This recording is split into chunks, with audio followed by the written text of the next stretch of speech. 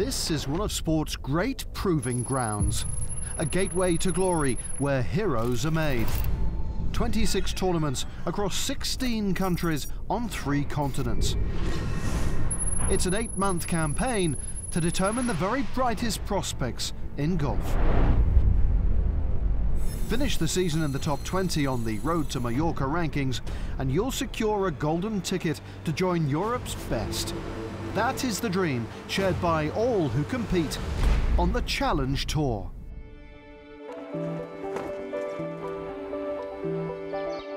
There's a lot of learning to be done in a space of just only a year.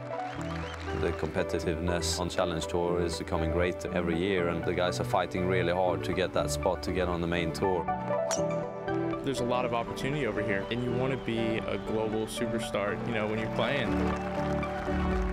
The journey to golfing stardom can be both long and complex, but the Challenge Tour's role along that route is clearly defined.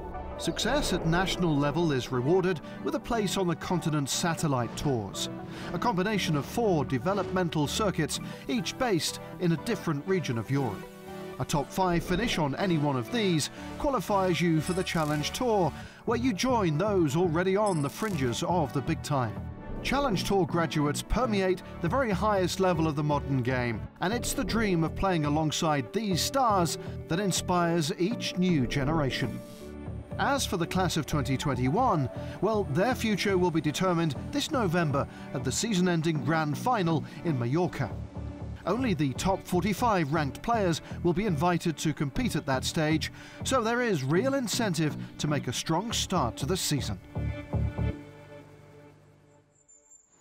And the 2021 Road to Mallorca campaign gets underway 7,000 kilometres south in the Rainbow Nation and begins with a three-week South African swing co-sanctioned with the Sunshine Tour. Our first tournament takes us just under two hours from the city of Johannesburg to Euphoria Golf Estates for the Limpopo Championship. And to a course designed by Annika Sorenstam, which will provide a stiff test. But it's a chance for our class of 2021 to get back to competition and put last year's COVID blighted season behind them.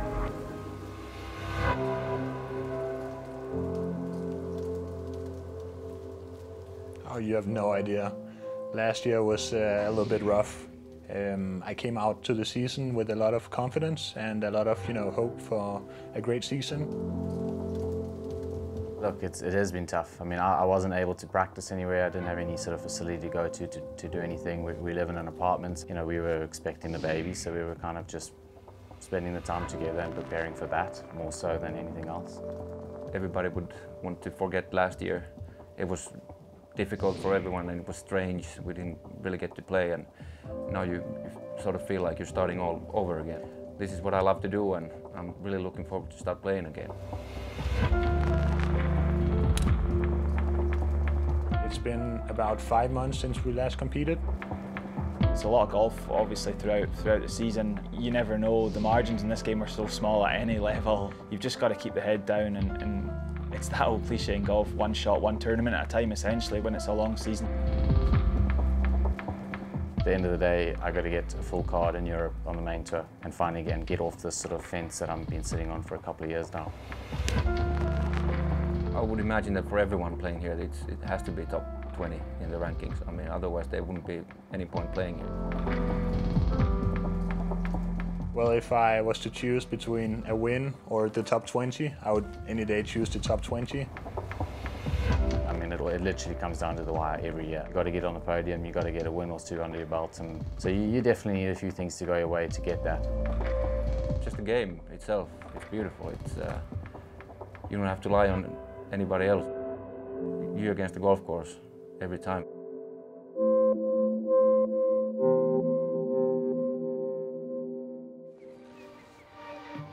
Well, there was an early start for the players to begin the 2021 season as they warmed up overlooking the African bushveld. And at 6.30 local time, South Africa's Luca Filippi got proceedings underway. The road to Mallorca off and running.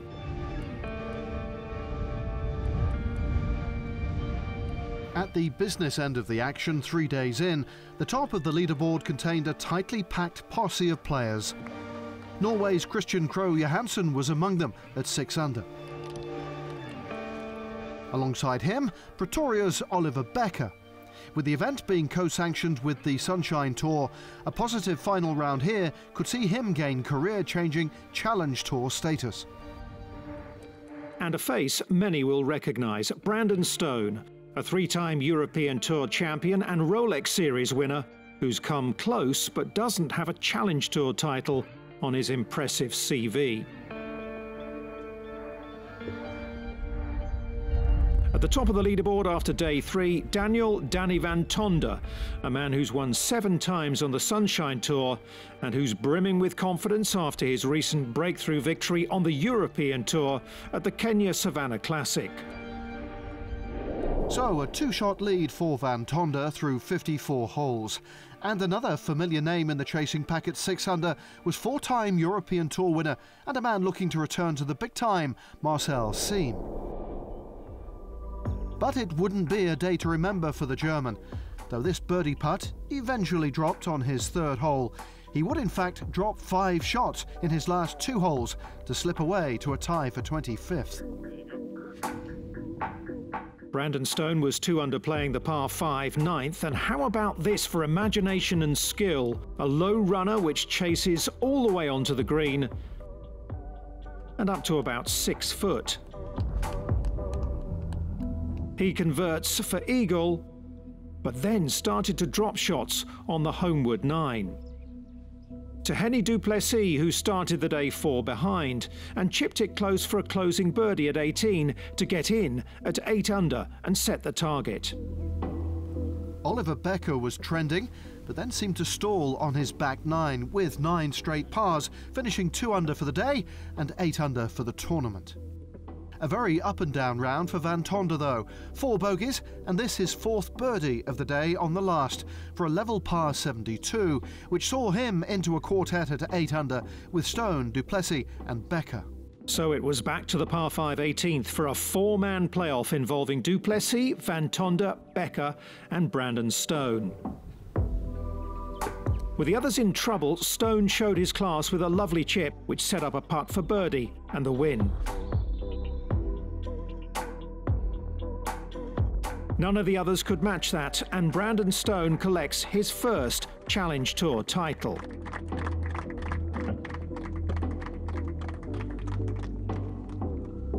Scotland's Craig Howie and Aussie Deyen Lawson played their way onto the final leaderboard on a day dominated by the home talent, led by a rock solid Stone, claiming that elusive Challenge Tour trophy. Brandon Stone.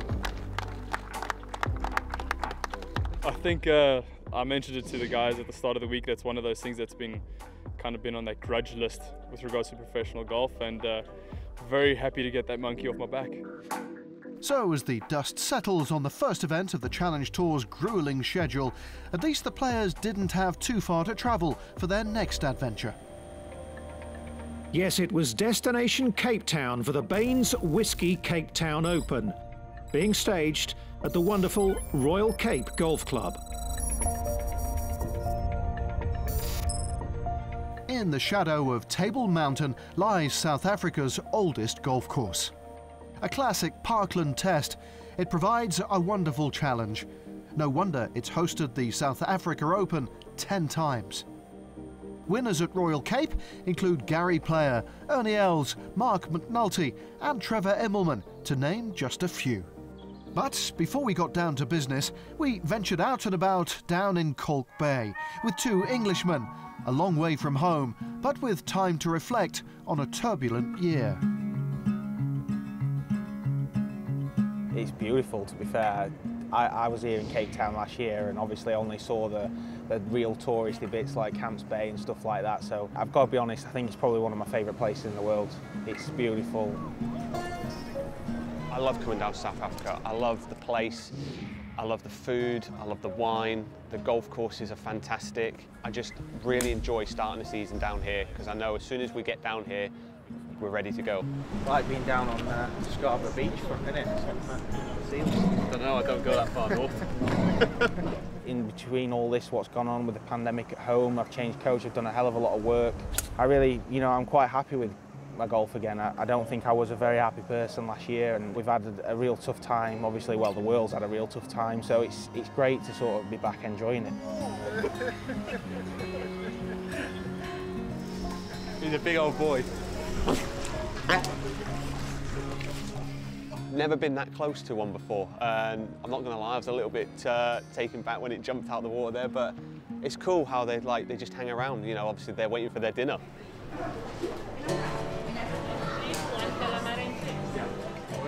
Awesome. Good We're very fortunate to be in the position we're in, and I think probably this whole thing, what's happened with the world, has certainly brought that to the forefront of your mind that actually what we do is pretty cool. We're all chasing that, you know, that European Tour card. We're all chasing trying to win a golf tournament. Biggest goal this year is to try and enjoy myself more than anything. That's a disappointment. I was expecting a big tuna to come out there. Just go out there and, and play the golf I know I can play in because now our season started. Well, no weekend play for Evans, but this is how things look through 54 holes in Cape Town. South Africans Blaauw and Skitty Cat tied for the lead with Spain's Santiago Tarrio and an international chasing pack. Santiago Tarrio will have been disappointed not to capitalise on his strong position, slipping back into sixth, despite a tremendous escape from the trees here for a rare high point in his round and birdie at the seventh. But things were going rather better for Blaauw. Starting with two birdies in his opening seven holes, he made it three here at the par 5 11th to keep his nose in front.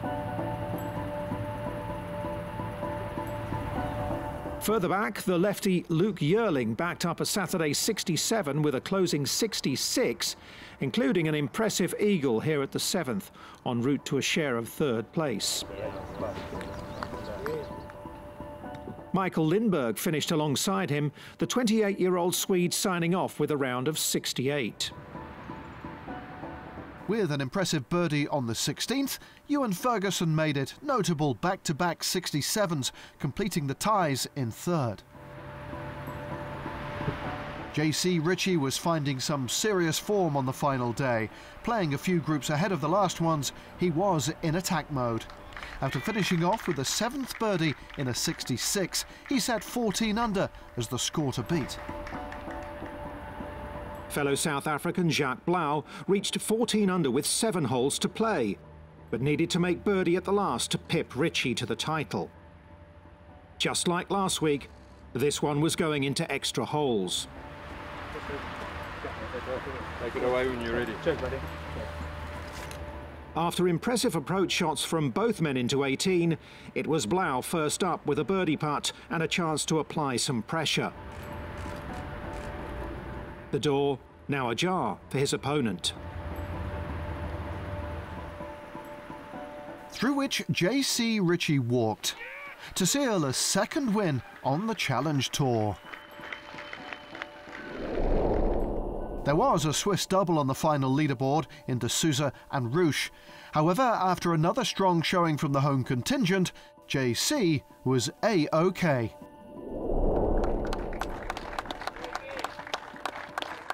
Amazing. Um, again, it, I keep proving to myself that I'm good enough to play on the bigger tours. Um, like I've said before, I think I still have a lot to learn um, out of our borders in Europe and um, on the Challenge Tour. So hopefully I don't need to spend a lot of time on the Challenge Tour this year. Hopefully I can get two more wins and jump onto the European Tour. A great win for Ritchie, and as the sun sets over the so-called mother city, that makes it two wins in two for the home nation in what's been a fascinating start to the Road to Mallorca campaign. Still to come, the South African swing continues at beautiful Fancourt, where we go behind the scenes with our man on the ground. Got ourselves a couple of sausage rolls, a couple of pies for the trip, athlete's diet.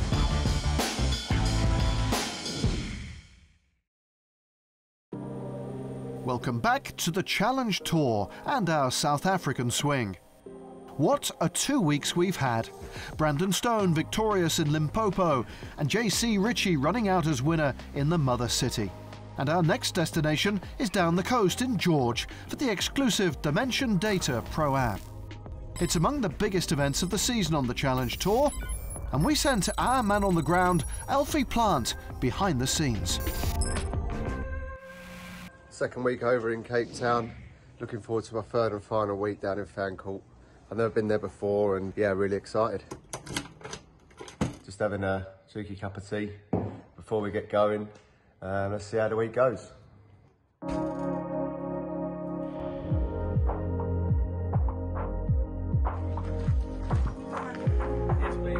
Ourselves a couple of sausage rolls, a couple of pies for the trip. Athlete's diet. 100k down, a couple of sausage rolls, boom.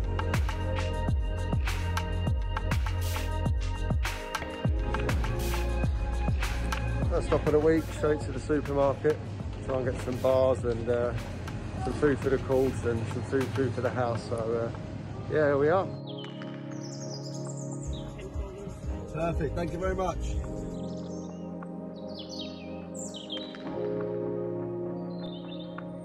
Bus, give us a wave.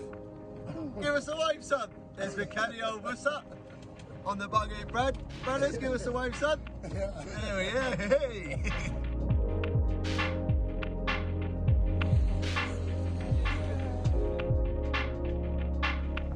Fully pass. Just done my test, passed with flying colours. Looking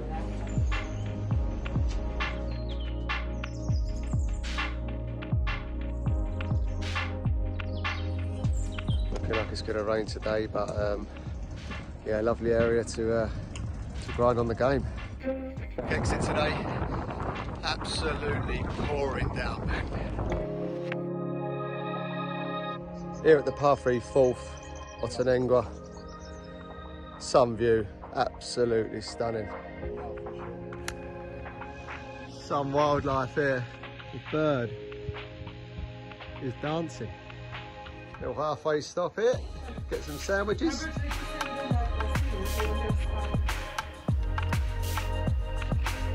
Just done nine holes at Fancourt. Just going on to the back nine now, absolutely loving it out here. Sun is shining, absolutely roasting it is. Have to put a bit more factor 50 on, burning up a little bit for the old Englishman. Great day. Just approaching the 17th green here. I just thought I'll uh, show you this setting.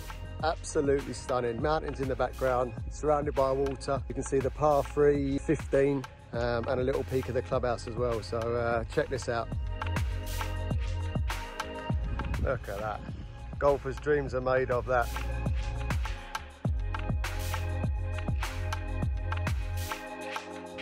Looking forward to me uh, last week out in South Africa.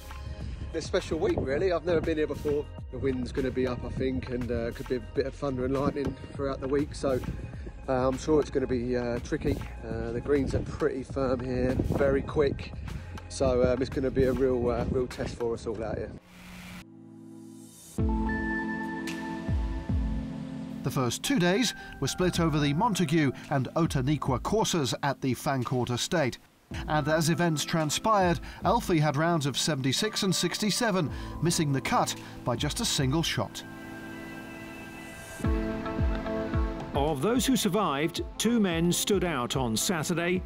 First up, American Chase Hanna, who had an eagle birdie finish at Outeniqua for a round of 64 and a 15 under par total. Alongside him, Jaco Ahlers, who plays out of the Fancourt estate, so he should know his way around here. Ahlers shot a bogey-free 68 on day three. So Hanna and Ahlers tied at the top after 54 holes. Stanislav Matus and Henrik Sturehed in the mix too, as are Daan Huizing and Wilco Nienaber at 12 under. Into the final round action, and sadly for the Fancourt members, their man faded. Jaco Ahlers closing out with a round of 74 and slipping into a share of 10th place. And the same story really for Chase Hanna, even though he started brightly on the fourth here. A final round 71 saw him finish in a tie for third. Alongside him, Oliver Becker, the 36 year old clearly on a hot streak after his second place in Limpopo, this on 17, one of seven final day birdies. Two men were pulling away from the rest of the field. This is Sweden's Henrik Sturehed, with a birdie at four on his way to a Sunday 66 and a 19 under par total.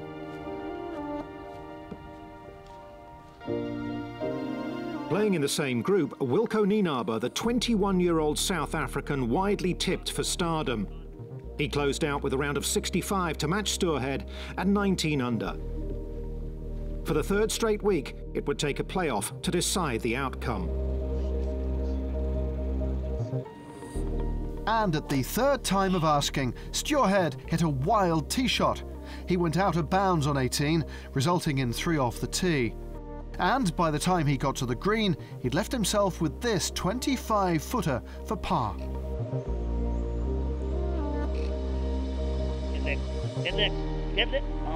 Agonisingly close, the frustration clear for all to see.